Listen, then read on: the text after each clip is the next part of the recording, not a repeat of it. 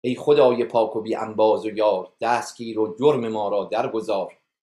یاد ده ما را سخنهای رقیق کان به رحم آرد تو را ای خوش رفیق.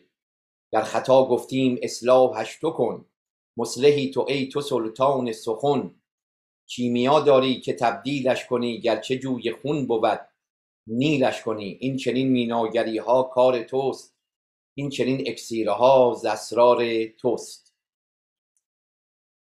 افتخار دارم خدمت شما عزیزان در این فضای ماه رمضان در محضر قرآن مباحث قرآنی را خدمت شما تقدیم می دارم همانطوری که عزیزان استهزار دارن موضوع سخن ما تفسیر آیات سوره مبارکه کهف است که آیاتی که امشب گفتگو می کنیم به دنبال مباحث گذشته آیه 27 و 28 این سوره است. که در اون آیات قبل و در نوبتهای گذشته گفتگوی ما پیرامون حماسه اصحاب کهف بود که اون قصه ای که خداوند بیان میدارد رو خدمتون گفتگو کردیم. عبرتها نکته اشارات و اون حقایق برجسته ای که در این حکایت اصحاب کهف به عنوان فلسفه شدن انسان مطرح می شود رو در 16 ماده من دیشب خدمتون تقدیم کردم و این بحث یعنی حکایت اصحاب کهف در سوره کهف به پایان رسید. پس از این خداوند توجه می‌دهد پیامبر را به اینکه کهفی وجود دارد حسنی و حساری وجود دارد که تو و تمام پیروان تو و کسانی که اقتدای به وجود تو می‌کنند. و خود را محمدی مینامند و می‌خواهند تو را اسوه خود, خود قرار بدن کهفی وجود دارد و حسنی وجود دارد که در اون حسن باید قرار بگیری. حسنی که از این آیه که امشب ما خدمتون گفتگو می‌کنیم تا یکی دو آیه بعدی معرفی می شود یعنی یک کهفی یه قاری که انسان باید بره در اون قار و در اون کهف در اون حسن کلمت لا اله الا الله حسنی. کلمه لا اله الا الله حسن من است حسار من است قلعه من است یک دژ مستحکم است. فمن دخله حسنی اگر کسی به معنای واقعی داخل در این لا اله الا الله شد امن من عذابی.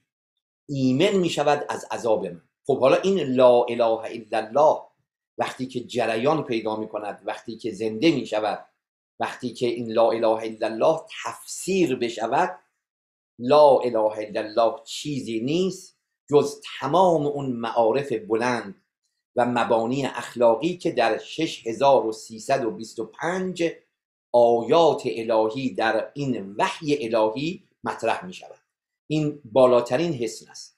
این که در همین آیاتی که امشب من خدمتون قرائت کردم از سوره فجر که خداوند در پایان این سوره میفرماید که یا ایتها النفس المطمئنه ارجعی الی ربک راضیه مرضیه ای نفس مطمئنه رجوع کن بیا.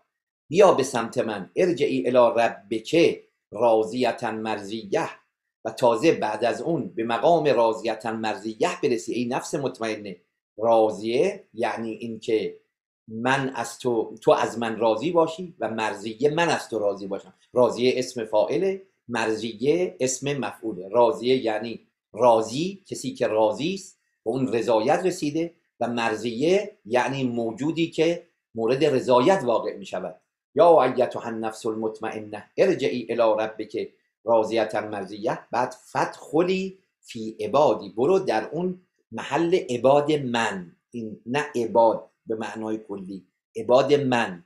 ودخلی جنتی. ای نفس داخل بشو. در اون جنت دیدار من جنت لقاء من نه جنت این نه جنت هایی که برای شما تصویر کردن چون جنت مراتب دارد. میگه وارد شو در جنت من اون جنتی که به مقام اندیت می‌رسد به مقام لقاء انسان می‌رسد. و وقتی که در قرآن کریم خداوند بهشت را برای ما تشریح می کند و درجات بهشت و نعمتهای بهشت یعنی نقطه اوج کمال انسان. وقتی که در ادبیات دینی مطرح می شود در پایان میفرماید و رزوان من الله اکبر. یعنی رزوان خدا یعنی درک خوشنودی خدا یعنی رسیدن به اون محبوب لبخند اون محبوب به روح من شکفتگی و شکوفایی وجود من این اکبر است. و رزوان من الله اکبر. چه زمانی نفس به اطمینان می‌رسد؟ علا به ذکر الله تطمئن القلوب. شما با ذکر می‌تونید به اطمینان برسید. فقط با ذکر. خب ذکر چیه؟ انا نحنو نزلنا الذکر و انا له لحافظون. این ما هستیم که ذکر را نازل کردیم در شب قدر. انا انزلناه فی لیلت القدر. انا نحنو نزلنا ذکر پس این با ذکر اطمینان پیدا می‌کنه. ذکر چیه؟ همون قلعه است. همون حسن است که اگر کسی وارد این حس شد و وارد این قلعه شد از اون نیشهای نفس از اون صدمات شیطان از اون آفتهای درونی و بیرونی رها می شود خب حالا اینجاست که خداوند به پیغمبر اکرم میفرماید که وطلو ما اوحی الیک من الکتاب ربک من, من کتاب ربک. یعنی تلاوت کن ای پیامبر تو مذکری. انما انت مذکر. این است و جز این است که تو مذکری. تو نمی‌تونی اینها رو با زور و بند و کتک ببری به بهشت. تو فقط و فقط مذکر هستی. مذکر یعنی چی؟ یعنی کلاس و دانشگاه ذکر رو با این وحی برگزار کردی. دست علیهم به مسیطر تو بر اینها مسلط نیستی. تو نمی‌تونی با سلطه اینها رو ببری و هدایت بکنی. تو باید در برابر اینها خاضع باشی و مذکری. خب حالا که مذکر هستی در اینجا میفرماید وتل ما اوحی الیک من کتاب ربک لا مبدل لکلماته ولن تجد من دونه ملتحدا. ملتحدا. این آیه 27 رو من خدمتتون یه توضیحی بدم. میفرماید تلاوت کن آنچه را که از کتاب رب بر تو وحی شده است و کلمات این کتاب در او تبدیل و تحویلی نیست و هیچ پناهی و هیچ کهفی و هیچ قوسی و هیچ حسنی و هیچ حساری رو نمی‌تونی جز او در این عالم پیدا کنی. جز او یعنی جز حق یا جز این کتاب که در پناه لطف حق باید گریخت. کو هزاران لطف بر ارواح. یعنی بدون هیچ گونه مبالغه عرض می‌کنم اون کهف حق است. و جلوه حق در این قرآن است. خداوند در قرآن تجلی کرده و عظمت ماه رمضان هم همطور که عزیزان استحضار دارن به خاطر این قرآن است. خب در اینجا چند تا واژه هست که باید اینها واکاوی بشن و ما از کردیم خدمتون کلیدهای فهم قرآن. مهمترینش این هستش که شما پنجره هایی داشته باشید که بتونید وارد این گلستان قرآن بشید. اون پنجره ها چیزی نیست جز همین واژگانی که در اینجا مطرح میشه. چند تا واژه هست در اینجا. یکی واژه وحی است یکی واژه کتاب است یکی واژه کلمات است و تبدیل کلمات و یکی واژه ملتحد که از همون لحد میاد. در مورد وحی در تفسیر سوره نجم در آکادمی مولانا در اونجا من بحث مفصلی داشتم. همطور که عزیزان استحضار دارن در ابتدای سوره کهفم عرض کردم وحی من... به صلاح فرع بر یک شعور بر این عالم است. شعور کیهانی شعوری که بر عالم حاکم است. یعنی نظمی که در عالم ما مشاهده می‌کنیم دلالت بر یک شعوری است. یعنی ما اون شعور را اون آگاهی را اون علم را که اون اللهی که علیم است علم مطلق است لا یتناها به ما لا یتناها عدتا و مدتا و شدتا. او می‌داند او خبیر است و او آگاه است. یک شعوری بر این عالم حاکم. فرع بر این شعور مسئله وحی. وحی یعنی چی؟ وحی یعنی سرعت. وقتی یه چیزی سرعت بگیره عرب میفرماید که وحی یا وحی یا در دعا هم میگه که خدایا برای من مخرجی قرار بده. مخرجن وحی یا یعنی یک فرجی یک راهی که با سرعت باشه. یعنی من عجله دارم می‌خوام نجات پیدا کنم.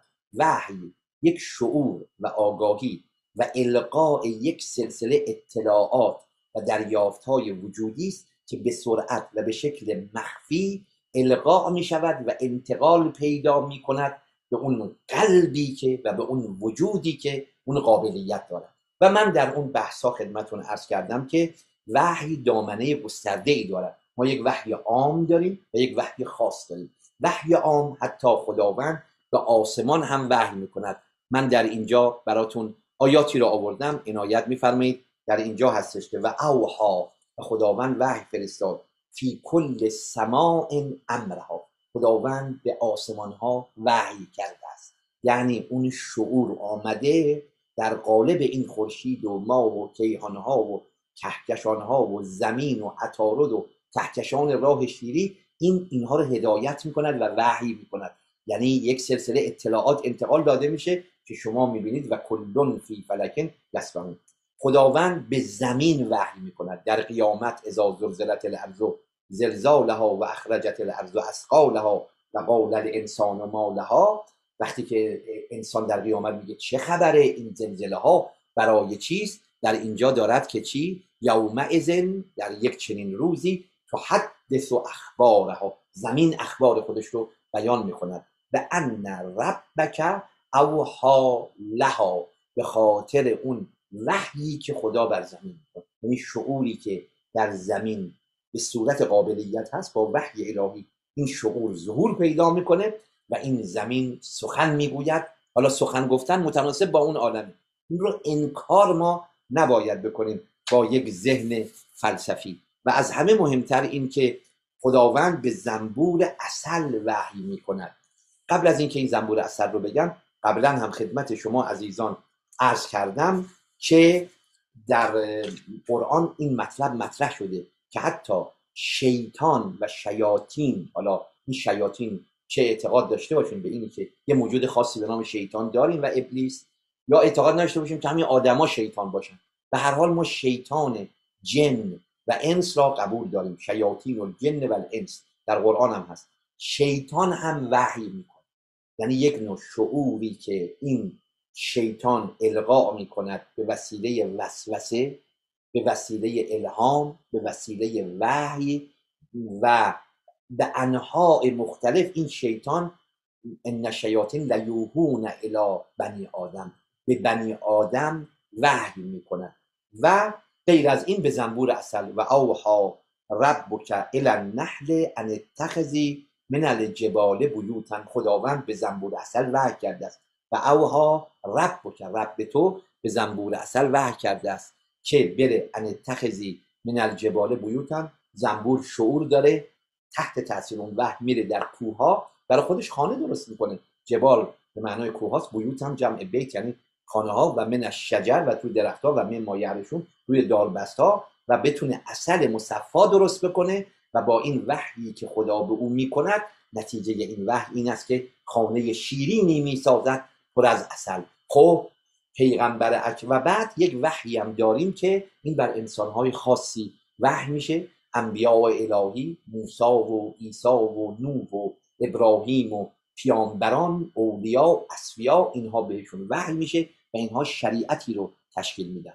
اما انسانهای دیگری هم که اینها صاحب شریعت نیستند اینها صاحب یک وحی می‌شوند به نام وحی دل به نام وحیی که در اون وحی انبایی هست نه وحی تشریعی. ما دو نوع وحی داریم. وحی تشریعی به پیامبری وحی میشه که این پیامبر بیاد شریعتی را شکل بده.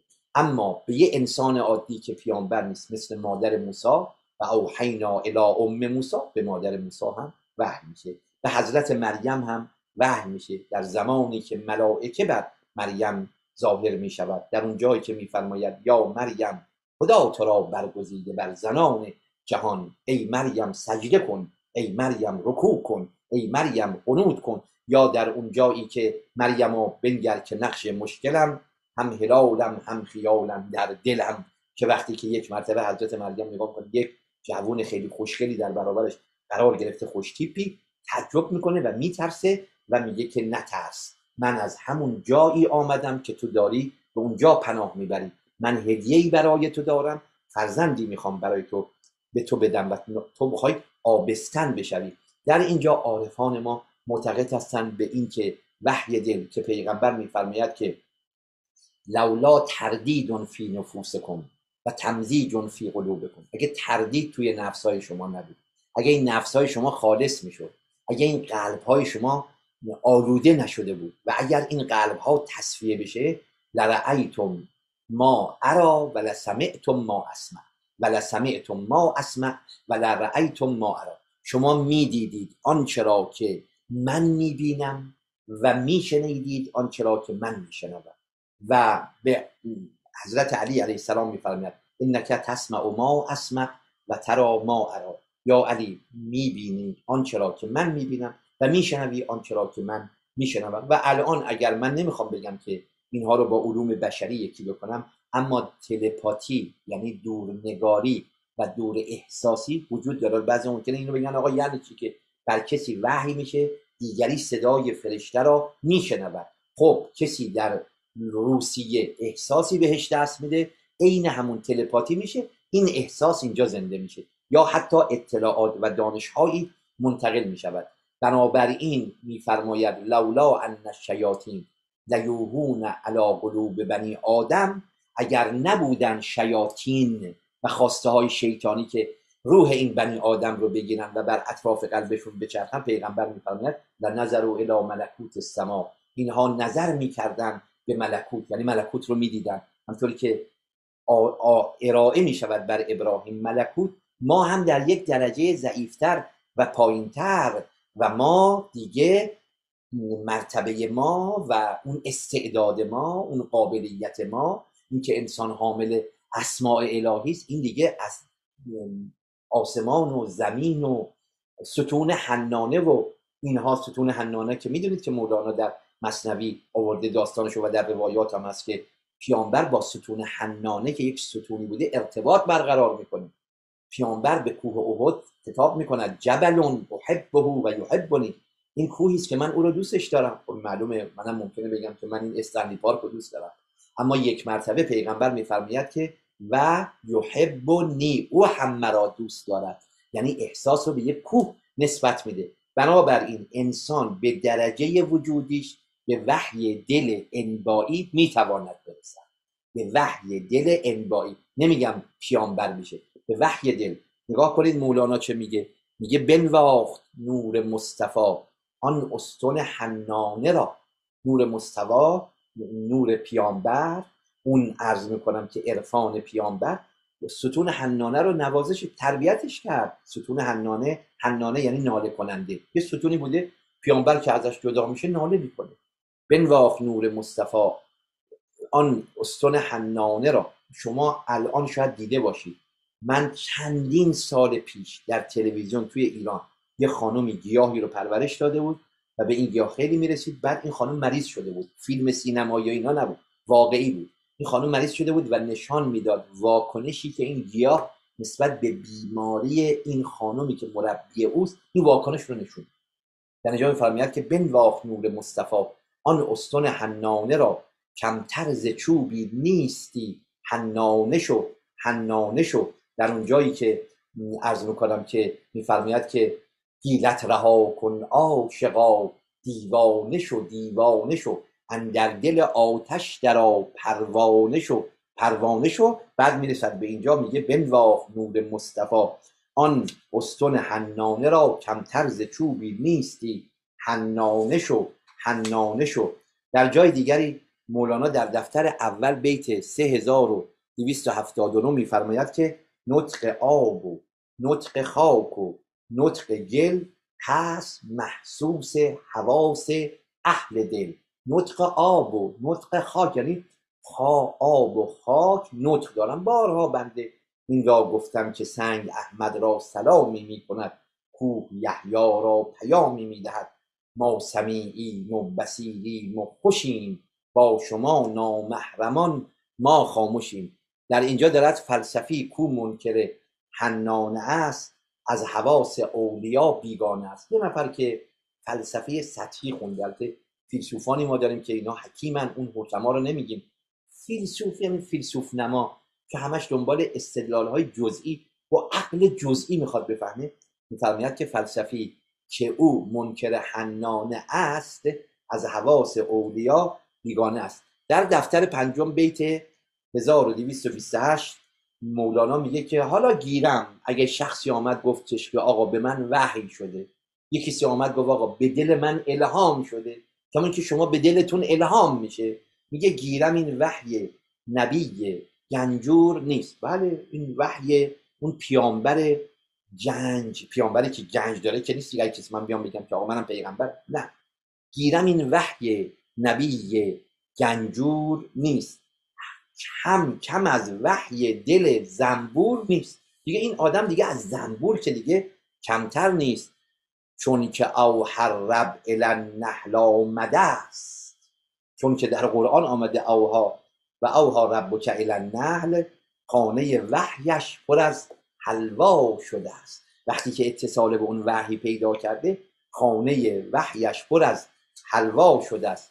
او به نور وحی حق از زوجل کرد عالم را پر از شمع و اصل یعنی به خاطر این وحی بوده. حالا این اون لطافتی که مولانا به کار می‌گیرد او به نور وحی حق از زوجل کرد. عالم را پر از شمع و اصل این همه شمع ها و اصل ها به خاطر اون وحی است.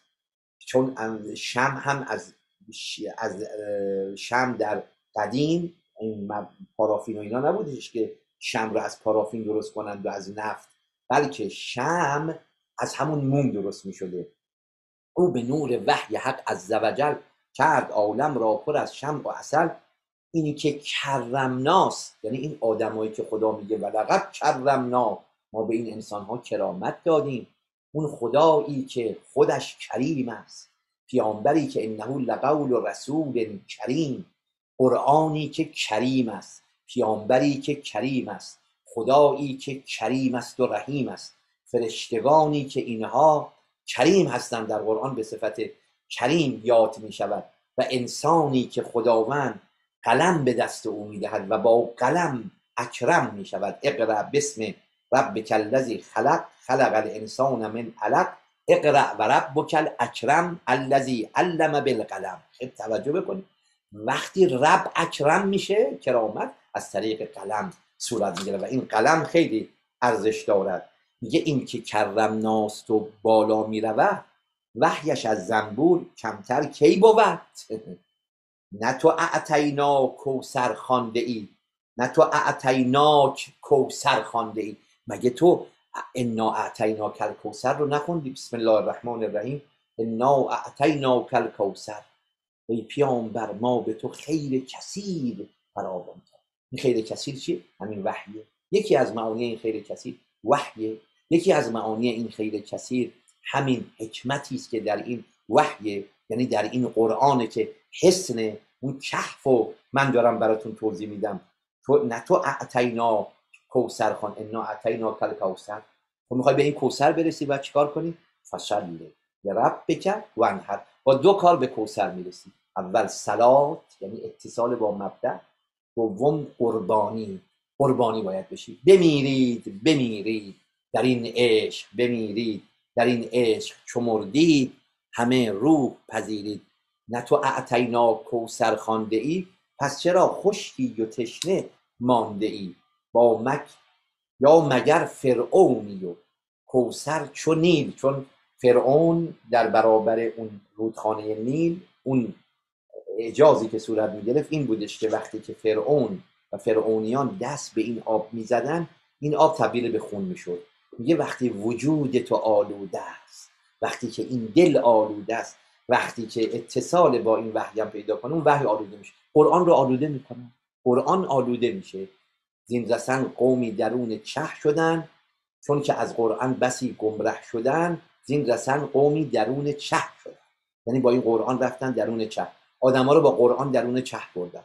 با قرآن آدما رو بدبخت کردن. یعنی به نام قرآن و برداشت غلط از قرآن. یا مگر فرعونی و کوسر چو نیل بر تو خون گشت است و ناخوش ای علیل تو بکن بیزار شو. از هر عدو کو ندارد آب کوسر در چلی و پشت بکنی. هر جایی که آب کوسر در وجودش نبود تو باید پشت بکنی. هر کرا دیدی ز کوسر سرخ رو او محمد خوست. با او گیر خو تا احب لله در حساب تا اینکه در اون حرکت حبی قرار بگیری. خدا به تو محبت کنه خدا مثل اصحاب کف دست تو رو بگیره. خدا در کهف لا اله الا الله در کهف وحی الهی قرار بدهد. تا احب لله در حساب که از درخت حسیب باید بخونیم. که از درخت احمدی با اوس سیب. از اون درخت احمدی که میوه دارد عرض می‌کنم که و ثمره دارد. پس بنابراین در این آیاتی که خدمتون قرائت کردم در اینجا میفرماید که بطل اولین کلمه کلمه وحیه خب وقت این وحیایی که اینجا مطرح میشه اون وقت به انسان هم وحی می‌شود به انسان خاص. اون اینا همش وحی عام بود. وحی عام چیه؟ وحی به آسمان وحی به زمین وحی شیاطین وحی به زنبور اصل و وحی که خدا به انسانهای عادی می‌کنه مثل مادر موسی مثل حضرت مریم و مثل اولیاء الهی که تحت تاثیر اون وحی به کراماتی می‌رسن اینا وحی عام است. اما ما یک وحی خاص داریم. اون وحی خاص به انسانهای خاص میشه. به پیامبر وحی شده است. منتها این وحی که اسمش وحیه باز این وحی هم دو قسمته. یعنی وحی هم که به پیامبران میشه و به پیامبر میشه دو قسمته. یکی وحی خاص و یکی وحی عام. وحی خاص این هستش که مستقیما پیامبری که به مقام اندیت رسیده مستقیم واسطه ها را نمی‌بیند. ارتباط او از طریق لفظ و از طریق ذهن و از طریق معنا نیست. یعنی ما بگیم الفاظی رو این دریافت می‌کنه متصل می‌شود اتصال پیدا می‌کند. اون اون رو بهش میگن وحی خاص. دوم این که از طریق یک هجابی است. یعنی صدایی میاد در اون صدا مستر صدا حضرت حق است. اما مظهر پیدا می‌کنه این صدا. خوب توجه بکنید. مستر حضرت حق است اما مظهر درخت است. حضرت موسی از اون درخت میشنود. در اون شعر قشنگی موسی نیست که دعوی الحق شنود. موسی وجود نداره که دعوی الحق شنود. ورنه این زمزمه اندر. بله بله اندر شجری نیست که نیست. و در, در تمام درخت ها این ندا وجود داره. یعنی اون صدا میاد در این درخت. منتها کی؟ موسی نیست که دعوی ان الحق شنود. یعنی یک ذهن یک وجودی که قابلیت پیدا کنه این صداها رو بشنوه. بعد بگه اننا سمعنا ینادی دل ایمان خب این هم قسم دوم. یعنی توجه داشته باشید. وحی دو قسمت رو درس و خوب توجه داشته باشید. وحی دو قسمت میشه. یک قسمت از وحی وحی خاصه یعنی مستقیم دریافت می‌کنه. دو قسمت دیگه میشه وحی عام که از طریق حجابه. یعنی صدا مسترش حضرت حق است حضرت عشق است. در درختی ظهور پیدا می‌کنه. درخت میشه مظهر. یا انسانی میشه مظهر. خب چرا درخت بشه مظهر؟ انسانی میشه مظهر میشه منصور حلاج. و انالحق را منصور حلاج نمیگه. مستر انالحق منصور حلاج نیست. مستر انالحق اون نوازنده نی است که بر این نی نشسته و می نوازد. و این فقط مظهره. مگه درخت حرف می‌زد؟ نه. او می‌گفت انی انا الله به موسی می‌گفت فخلع نعلیک. ای موسی آمدی. کفشتو در بیار. نعلین تو در بیار. یعنی خودت رو تخلیه بکن. از همه تعلقات و از همه آفات خودتو تو تخلیه کن. لخ شو اوریان شو. به سرزمین مقدسی وارد شدی. انک بالواد المقدس تو با. این صداها رو این ده فرمان موسی از کجا میشه از درخت میشنی. خب نمیشه که از یک مظهر غیر از درخت یه موجود بالاتر از درخت بشه. چرا؟ اونجا عرض می‌کنم که میشه یک عارفی میشه یک ولی الهی. تمام این اولیا اینها میشن مظهر دیگه. این که میگن اگر بنده خدا رو کسی آزار داد خدا رو آزار داده؟ بعضیا میگن این کجا و خدا کجا؟ اگر بنده خدای مریض شد شما رفتی عیادتش به عیادت خدا رفتی؟ نه اینکه این خداست مظهر شده در اینجا. مظهر با مستر فرق می‌کنه. منصور حلاج میشه که میشه مظهر میگه انالحق و با یزید بستامی میشه مظهر میگه لیس فی جبتی الا الله. اصلا در جبه من جز خدا نیست. ما اعظم شعنی ما اعظم شعنی سبحانی. شما میگی سبحان الله؟ با یزید بستامی میگه سبحانی. یعنی پاک و منزه من. اینو که با یزید نمیگه. اگه با یزید بگی که دیگه کافره. اگه با یزید بگه سبحانی ما اعظم شعنی این با یزید کافره. بلکه او داره میگه سبحانی اما این سبحانی مظهرش می‌شود با یزید بستامی. مستر با مظهر فرق می‌کنه. خب حالا اینا رو از کجا آوریم از آیه قرآن. در قرآن عرض می‌کنم که در سوره سوره رو فراموش کردم. آیه 51 است بعدا مراجعه بفرمایید. ما کان لبشر ان یکلمه الله. انسانی نیست که خدا با او تکلم بکنه. انسانی پیدا نمیشه که خدا باش تکلم بکنه. الا سه قسمت میشن اگر خدا خواست با انسانی تکلم بکند سه قسمت میشه الا وحیان این وحیان یعنی مستقیم. او وراء حجاب یا از طریق یه حجابیه. یعنی حجابی است بین او و موسی و اون درخت. او یرسل یرسل رسولا. این سومی که یک رسولی رو میفرستد فرشته وحی جبرئیل امین که این امانتدار این وحی است. یرسل رسولا فیوهی به اذنه. وحی می‌کند به اذن خداوند. خب اینجا که وحی می‌کنن. این وحی با اون وحی وحیان اول فرمود اون وحیان اول مستقیمه. این واسطه است. به اذنهی. ما یشا انه علا علی حکیم. خب ما داشتیم این آیه از سوره کهف میخوندیم. ببخشید من خیلی توضیح میدم. برای اینکه می‌خوام شما یه آیه رو دو آیه رو که گرفتید امشب کاملا برای شما تحلیل بشه. وطل ما اوحی الیک. تلاوت کن ای بر آن چرا که به تو وحی شده است. می‌خوای بیای توی کهفی که در اون کهف امان بشی؟ به خود شما هم میگه. وطلو این کلمه وطلو هم یعنی تلاوت کن. نه اینکه قرائت کن. تلاوت کن. نگاه کنید. بسم الله الرحمن الرحیم. و شمس و زهاها و القمر ازا تلاها. معنا کنید چی, چی میشه؟ معنا کنید و شمس و زهاها سوگند به خورشید و پرتو خورشید و القمره و سوگند به ما ازا تلاها زمانی که خورشید را تلاوت می‌کنه. تلا تلا یعنی تلاوت می‌کنه. ماه چجوری خورشید رو تلاوت می‌کنه؟ این تلاها همین تلاوته. همین تلاوته. تلاها. چگونه ماه خورشید را تلاوت دور خورشید میگردد و میچرخد. متصلا دائما از خورشید انرژی می‌گیرد تلاوت قرآن نه این تلاوتی که بنده الان این یک چیز قشری است که می‌خونن. خیلی جاها هم می‌خونن. بالا سر مرده هم می‌خونن. تو عرض می‌کنم که برای تیمون تبرک هم می‌خونن. اینا همه قشقه. منهای باطن قشت هیچ فایده ای نداره. منهای باطن. منهای باطن. قشر لازمه. پوست لازمه. اما منهای باطن چه فایده ای داره؟ اون تلایتلو و تلاوت یعنی با مسئولیت ارتباط برقرار کردن. اگه می‌خوای در اون حسن قرار بگیری و اسم مسلمون اسم ما مسلمونه. این قرآن چگونه این قرآنی که حقه چجوری حضور داره تو کانادا تو زندگی ما؟ چگونه حضور داره؟ توی خانه ما چگونه حضور داره؟ توی روابط ما چگونه حضور داره؟ در مملکت ما که حضور نداره. در مملکت ما طوری که فقط و فقط نامی از قرآن است و اسمی از اسلام است.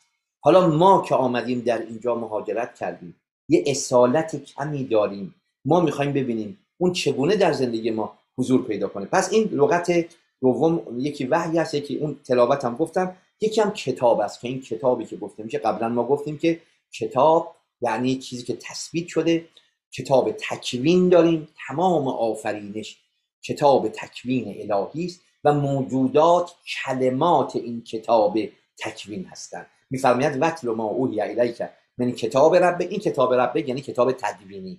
کتابی که تدوین شده قرآن. اما کتاب تکوینی تمام آفاق تمام طبیعت تمام موجودات اینا کتابن. برگ درختان سبز در نظر هوشیار هر ورقش دفتری است معرفت کردگار. خود کلمه هم که توی کتاب بارها این رو گفتم. کلمه خداوند در قرآن به حضرت عیسی میگه کلمه. کلمه یعنی چی؟ کلمه یعنی چیزی که اظهار می‌کند ماخفار اولا توجه داشته باشید. خود کلمه یعنی جراحت. در زبان عربی ها خود کلمه کلمه یعنی جراحت. شما وقتی که با چاقو جراحت ایجاد بکنید میگن کل کل. کلمه. این رو بهش میگن کلمه جراحت ایجاد شما وقتی حرف می‌زنید داری جراحت ایجاد می‌کنید یعنی تأثیری می‌گذارید اما کلام و کلمه یعنی چیزی که امر مخفی را اظهار بکنه. الان در درون من یک امر مخفیه یعنی اطلاعاتی که درس خوندم. حالا رفتم مطالعه کردم. می‌خوام منظورمو به شما منتقل بکنم. با این کلمات من برای شما آشکار بشم. تا مرد سخن نگفته باشد ای به هنرش نگفته باش. حالا خداوند کلام نفسی دارد. کلام نفسی یعنی چی؟ یعنی تمام این درخت ها کلمت الله هست. شما کلمت الله است بزغاله کلمت الله هست. آهو کلمت الله هست. تمام ستارگان کلمت الله هستند. و این کلمات تامه هم هست. در دعای سهر می‌خونیم. اللهم انی اسالک به کلماتک و کل کلماتک تامه. یا کلمات تامه داریم کلمات ناقصه داریم. من کلمه ناقصه هستم. شما کلمه ناقصه هستی ولی امیر المؤمنین امام علی علیه السلام کلمه تامه است.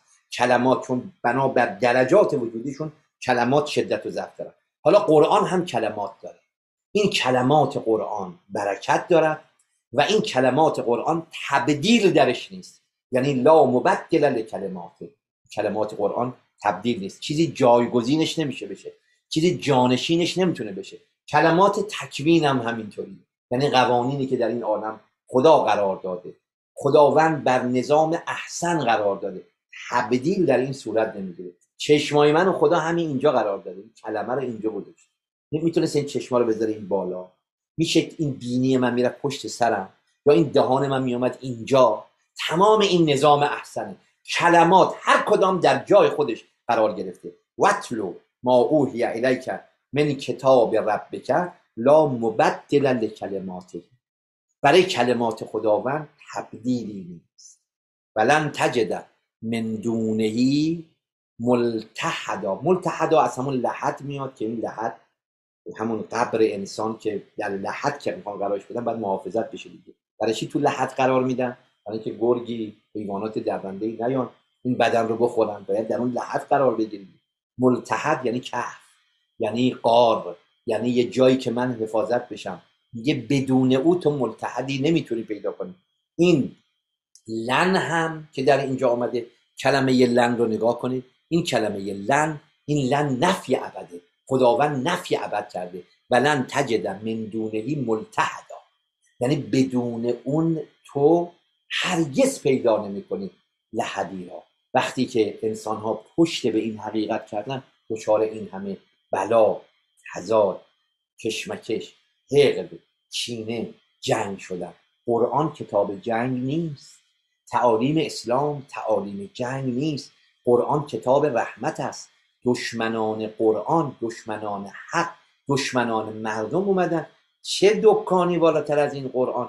این قرآن را آمدن همطوری که قرآن ها رو معاویه بر سر نیزه کرد. اینها هم قرآن ها رو آوردن و اسباب و وسیله سلطه خود و ستم خودشون قرار دادن. لا, مبدل ولن تجد من دونهی ملتحدا خب من خدمت عزیزان عرض کردم همینطوری که ما در کتاب تدوین یعنی در قرآن با کلماتی مواجه هستیم در کل این آدم هم با کلماتی مواجه هستیم. در این آیه توجه بفرمایید. میفرماید که من خیلی معذرت می‌خوام که اسم سوره ها رو من یادم رفته بنویسم. ببخشید یه مقدار حواس پرت میشه. میفرماید ولو انما فی الارض.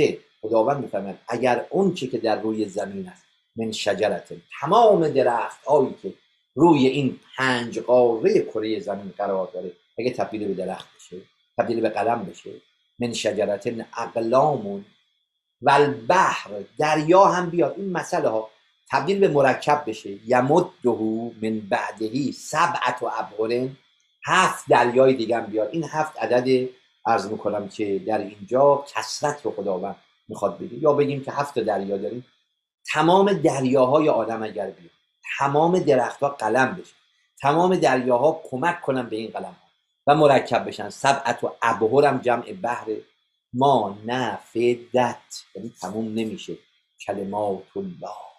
کلمات خدا هیچ وقت تموم نمیشه من کلمت الله هم شما کلمت اللهی. بچه شما کلمت الله هست. همسر شما کلمت الله هست. غذایی که می‌خوری کلمت الله هست.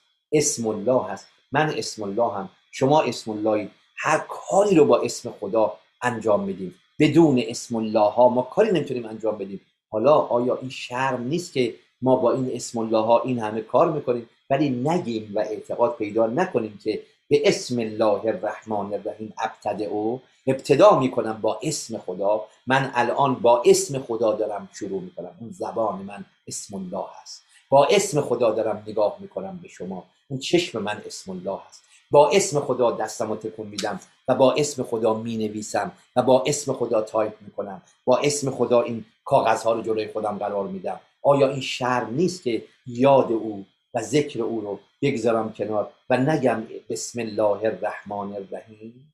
و اگر اسم سلام آوردم که اسم خداست بعد دیگری به خاطر حس ناسیونالیستی که خیلی آگراندیسمانش کرده بگه نباید بگی سلام باید بگی درود بر شما. نباید بگیم سلام بر شما. این سلام اسم خداست و سلم سلامتی امنیت من. منم میگم درود بر شما. من تو سخنرانی من میگم درود بر شما. سلامم میگم. ولی اینطوری نیست که بگیم نه نه نه نه نه. این سلام اخی سلام رو نباید بگیم. اگه گفتی سلام تو یک آدم ضد میهنی.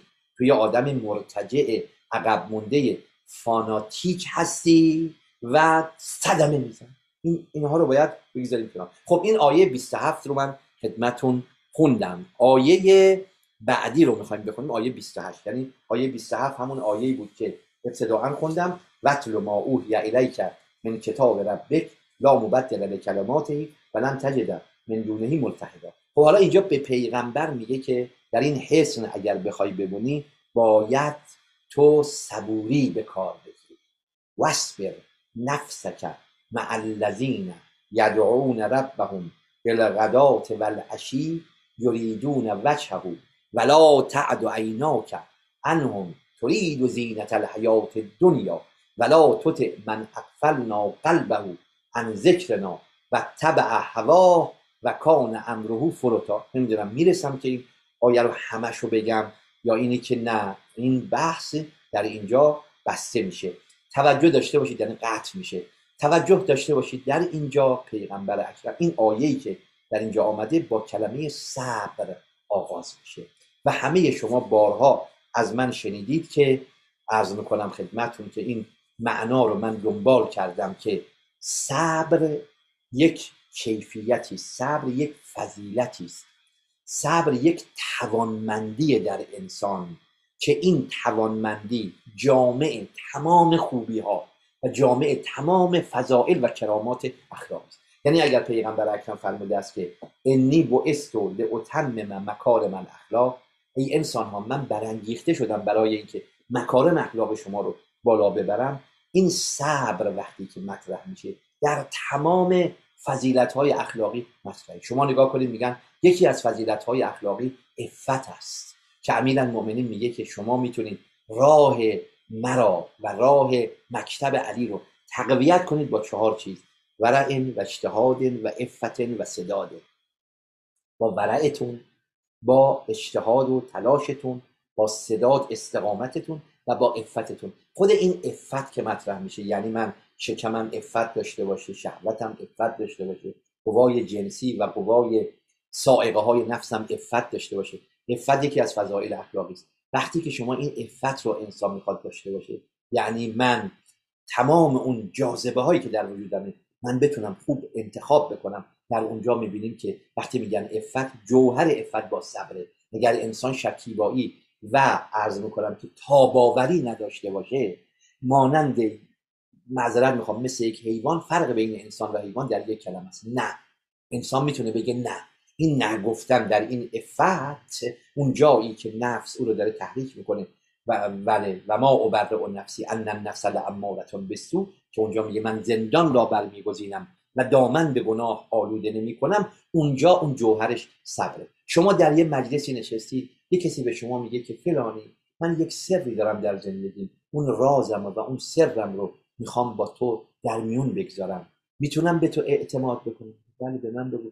صندوقچه قلب من مثل یک صندوقچه رازه به من بگو. رازش رو به شما میگه. وقتی که شما از اون مجلس میاد بیرون یه موجودی در وجود شما شما رو داره تحریک می‌کنه که اینو به این دوستت بگو که آقا آقا یه مطلبی هست که فلانی با من صحبت می‌کرد. حالا به منم گفته نگم. ما افشاء سر می‌کنیم در این افشاء سر وقتی که شما نگاه کنی رازداری که انسان رازدار و ستار باشه جوهرش صبر است. در جایی که شما می‌خواهید زهد داشته باشید یعنی اعراض داشته باشید کم بسنده بکنید نسبت به این دنیا. در اونجا جوهر اون مشاهده می‌کنی صبر. شجاعتی که انسان باید در برابر دشمن در میدان جنگ از خودش داشته باشه. جوهرش رو شما نگاه کنید. جوهرش صبره در تمام فضای.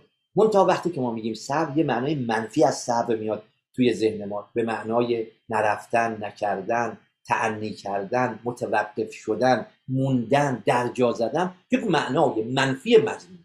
ما یک معنای عالمانه ای صبر دارد که این ایستادن فعل و حرکت کردن و اراده کردن و رفتن و رسیدن.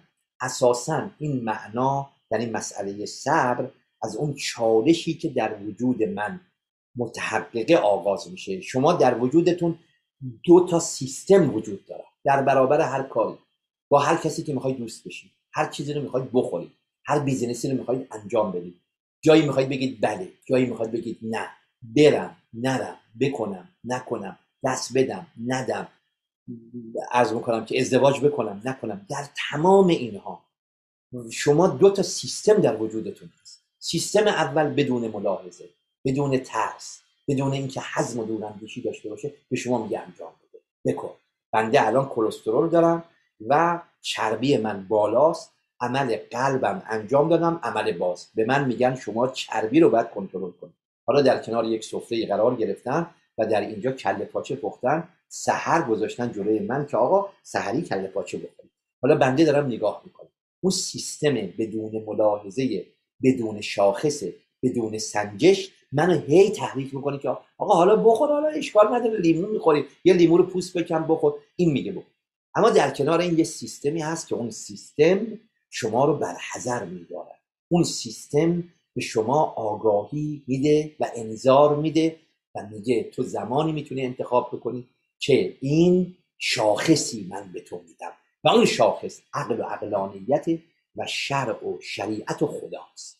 اگر تو با این شاخص رفتی جلو اونجا صبوری و اونجا شما اجر صابرین رو داری. حالا در یک جایی هستش که اصلا این شاخص بهت میگه وای نسا بودو برو به سرعت برو برو این کار انجام بده. اونجا شما صبوری. این معنای عام صبره معنای خاص صبر در برابر جزع و فضع و اینها که ما قبلا در مورد این خدمتون بحث کردیم. حالا قبل از اینکه این آیه رو بگم مراتب صبرم خوبه که دوستان بشنون.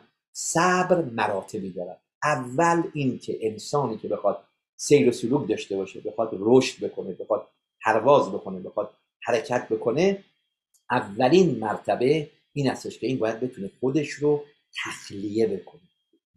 یعنی قبل از تخلیه تحلیه است. تحلیه حلیه یعنی آرایش یعنی این شریعت رو باید رعایت بکنه زواهر رو رعایت بکنه ولی یواش یواش باید دیوه ها رو از وجود خودش بیرون بکنه تخلیه بکنه پس اولین صبر صبر در برابر جاذبه ها و سائقه های نفس. صبر در برابر معصیت صبر در برابر گناه صبر در برابر اله ها هست. لا اله. دوم صبر در اطاعت و عبادت. حالا وقتی که تخلیه می‌کنیم در کنار این تخلیه این باید تجلیه هم داشته باشه. یعنی باید خودش رو تقویت هم بکنه. خب این سخته دیگه باید روزه بگیره باید گرسنگی بکشه. باید تشنگی بچشه. باید عبادت بکنه. نیمه شب باید بلند شه. ترک شهوت ها و لذت ها سخاف سخاوت خودش رو نشون بده. اینجا باید صبوری بکنه صبر در برابر اطاعت و عبادت. صبر سوم صبر در برابر شدائد ناملائما مصیبت ها بیماری ها خوف ها اینها رو راجبش من مفسر صحبت کنم. که این ناملائمات و شدائد در قرآن تحت عنوان ابتلاعات ذکر می شود و این ابتلاعات باعث رشد انسان میشه. این ابتلاعات باعث میشه که انسان قدر نعمت را بداند. این ابتلاعات باعث میشه که انسان شکوفا بشه. اصلا انسانیت انسان در اون رنج تحقق پیدا می‌کنه. در اون جایی که میفرماید لقد خلقنا الانسان فی کبد در سوره بلد. لا اقسم به هذا البلد و انت به هذا البلد و والد و ما ولد. لقد خلقنا الانسان فی کبد. ما انسان را در رنج آفریدیم. یعنی ما انسان را در رنج آفریدیم؟ یعنی انسانیت انسان آفرینش انسانیت انسان. و اومدن بیرون تولد این انسان در رنج در رنج من ساخته میشم و می‌تونم یاد بگیرم. در رنج است که من نعمت رو می‌فهمم و نعمت رو می‌بینم. داستان اون غلامی که تالا سوار کشتی نشده بود و دریا رو ندیده بود با صاحبش اومدن سوار کشتی شدن. این غلام هی خودش رو به این در و دیوار می‌زد و اصلا این آرامش نداشته دیگه چیکارش کنن هی خودش رو می‌زد هی از این ور به اون ور فرار می‌کرد. حالا دریا ندیده بود. بعد یک حکیمی بود گفت دست اینو بگیرید بزنید دریا. دست رو گرفتن انداختن توی دریا. هی رفت زیر آب اومد بالا. دیگه در اون آخرین لحظاتی که داشت خفه می‌شد گفت حالا نجاتش بدید اومد توی کشتی. آروم رفت یه گوشه نشست. وقتی که انسان بلاها رو می‌بینه وقتی که انسان محرومیت ها رو می‌بینه در اون محرومیت ها اونجا نعمت برای انسان برجسته میشه. انسان احساس می‌کنه عجب! چه نعمت هایی من داشتم! که این نعمت ها رو از دست دادم و من قدر این نعمت ها رو ندونستم. و اون غرور اون کبر اون انانیت اون نخوت در این اطلاعات همه و همه شکسته میشه و بالاخره صبر در نعمت و راحتی. اونجایی که انسان مقام قنا داره در مقام قنا انسان باید شکر کنه. اما در مقام فقر باید صبوری بکنه. در مقام فقر که من باید صبوری کنم. در مقام قنا یعنی اون موقعی که دارم آیا اونجا هم باید صبوری کنم؟ بله. اونجا برای اینی که این پولی که دارم این قدرتی که دارم این ثروتی که دارم آب میره زیر پوستم تقیان می‌کنم. حالا میگن آدمی که داره صبوریش ارزشش بالاتره یا آدمی که نداره صبوری می‌کنه؟ وقتی که من گرسنمه بر گرسنگی خودم صبوری می‌کنم. این راحت تره؟ یا زمانی که دارم و در انحراف خودم نسبت به اون داشته ها صبوری می‌کنم که این اختلاف دیگه. بعضی گفتن که خب اون که نداره که چاره ای نداره جز صبوری. حالا بعضیا در اون نداشتن دزدی می‌کنن. ولی یا در فشارها که قرار می‌گیرن اصالت خودشون از دست میدن. میگن یه نفر تایی چا بود بعد داشت ناله می‌کرد یه نفر رد شد نگاش کرد گفت سب کن برم تناب بیارم. گفت اگه سب نکنم چیکار می‌کنم اما اونی که به استقنا رسیده است در اون اوج استقنایی که دارد این فرد بخواد خودش رو حفظ بکنه. بنابراین صبر در نعمت و عرض می‌کنم که راحتی. خب این صبری که در اینجا مطرح میشه این آیه رو من بخونم. بحث ادامه داره یعنی در مورد خود همین آیه ادامه داره ولی دیگه بحث وقت من داره تمام میشه و باید در خدمت شما باشیم برای اذان و مناجات و, احیانا اگر سوالاتی هست. نگاه کنید آیه رو می‌خونیم سوره کهف. واصبر نفسک مع الذین یدعون ربهم بالغدات والعشی. نکته اینجا بوده که اشراف قریش سرمایدارا مطرفین مصرفین مشرکین اونایی که سرمایه های آنچنانی داشتند و خودشونو در خطر می‌دیدن اینها اومدن برابر مسلحت و منفعت مادی خودشون به پیغمبر اکرم پیشنهاد دادن. گفتن که ما حاضریم که در برابر شما زانو بزنیم. در مکتب شما حاضر بشیم. در مدرسه شما دانش آموز مدرسه قرآن شما باشیم. ما حاضریم در محفل شما دوش به دوش شما در کنار شما باشیم. کیا؟ سرمایه دارها مترفین خوشگذرانها. اینها آمدن. منتها ما یک مشکلی داریم و اون مشکل مشکل قابل ناست مشکل انسانهای گرسنه ای که اینها برده هایی که با این قیافه های کج و معوج و با این لباس های مندرس و با این فقر اینها با ما برابری نمی‌کنن. ما نمی‌تونیم دوش به دوش اینها و در سطح اینها قرار بگیریم. به پیامبر پیشنهاد دادم که این طبقه محروم و طبقه درمانده رو رد کن و ما بیایم در کنار تو دوش به دوش تو باشیم اینجا راندخالی می‌خواستن بکنن دیگه و از این طریق اون مسلحت خودشون و منفعت خودشون رو در نظر داشتن. در اینجا خداوند در کنار اون قلعه و اون حسنی که من گفتم به پیغمبر اکرم میفرماید که وصبر نفستا نفس خودت رو شکیبا کن و تا بیاور در برابر پیشنهاداتی که اینها دارن به تو میدن. وصبر نفسک مع الذین یدعون ربهم. نفس خودت را ببخشید. در اینجا آیه این است. آیه که داریم با هم می‌خونیم این است که میفرماید که وصبر نفسک مع الذین با کسانی که یدعون ربهم. با کسانی که اینها خدا را می‌خواهند همین انسان هایی که اطراف تو هستن. همین محرومی همین آدم هایی که پا ها همین ملت همین توده مردم اینهایی که در کنار تو قرار گرفتن یعنی همون یاران پیامبر مثل ابوذرها مثل مقدادها مثل سلمان ها مثل بلال ها اینا کیا هستن؟ یدعون. یدعون یعنی می‌خوانن. به معناییت اونا یعنی یعبدون. ربهم. اینها رب را می‌خوانند. بالغدات غدو و قدات یعنی اون طلوع فجر که میشه تا زمانی که آفتاب طلوع این یک ساعت رو بهش میگن قدات ول اشی اشی که اشی از زمان غروب آفتاب یعنی وقتی آفتاب غروب می‌کنه مغرب نه. غروب آفتاب تا زمان عشا نماز عشا می‌کنه. در اونجا اینو میگن این هم یه مدتی هست. میفرماید اینا صبح شد مثل مثلا شما یک محبوبی میگید که آنچنان دلم با آنچنان با تو هستم که صبح و شب به یاد تو هست تو از دلم بیرون نمیری. تو با من هستی. در با منی پی در یمنی پیش منی. در بی منی پیش منی در یمن.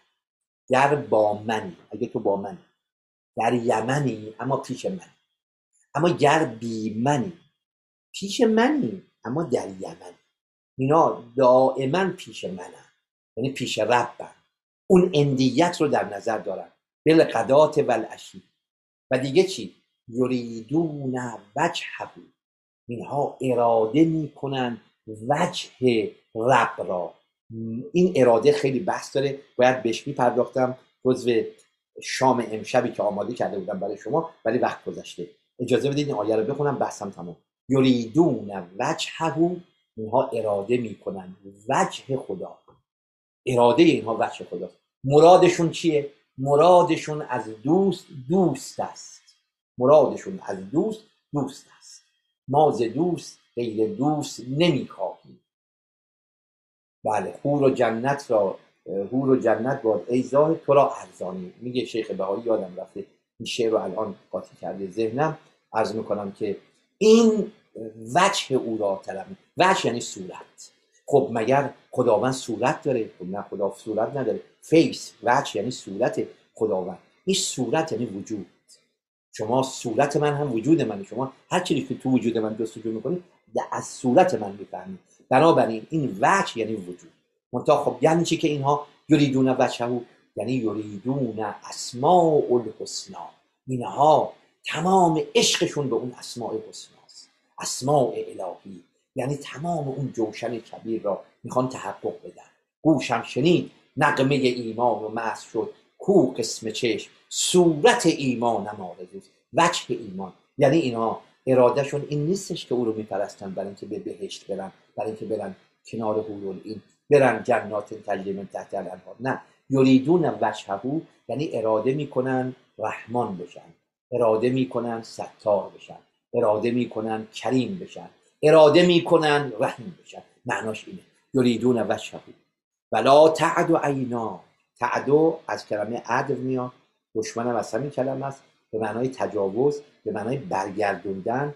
عینا که یعنی چشمات. ای پیغمبر چشماتو بر مدار از این محرومی و به سمت اونا مبادا بگی اینا پول دارن. حالا از پولشون می‌تونیم برای توسعه اسلام استفاده کنیم. بلا تعد و عیناک. عینا گره چشماتو. انهم ترید و زینت الحیات دنیا در حالی که اراده می‌کنی تو زینت حیات دنیا ولا توته پیغمبر اهمیت نده. اطاعت نکن. من اقفلنا قلبه عن ذکرنا. کسی که قلبش از ذکر ما غافل شده است. و تبع هوا و تبعیت می‌کند از هوای نفسش و امره و کان امره فروتا. امرش مفرته امرش اصرافه زیاده روی داره می‌کنه. این قسمت های پایانی رو باید فردا براتون توضیح بدم. دو تا آیه رو خواستیم از سوره کرد تمام بکنیم قسمت پایانی مون در اینجا که میفرماید که ترید و زینت الحیات دنیا یعنی چی؟ چه نسبتی هست که خداوند به پیغمبر میفرماید؟ ترید و زینت الحیات دنیا بعد ولا تطع من اغفلنا قلبه عن ذکر. قلبی که قافله چه نشانه هایی داره؟ چگونه میشه یک قلب قافل میشه؟ و چگونه میشه یک قلب از قافل به ذاکر برمیگردد؟ و طبع هوا و نتیجه قفلت چرا تبعیت از هوا هست و این تبعیت هوا چگونه است و کان امره فروتا و امر این فروت است. این رو خدمتون گفتگو می‌کنم.